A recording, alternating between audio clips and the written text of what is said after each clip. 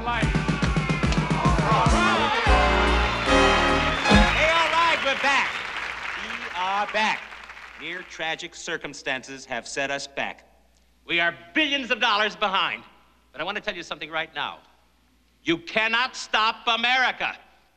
Oh, beautiful for spacious skies, for amber waves of grain, for purple mountain majesties above the fruited plain.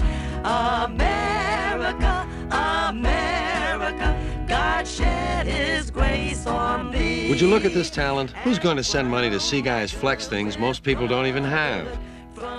We'd been off the air too long. I was stale. The ideas just weren't coming.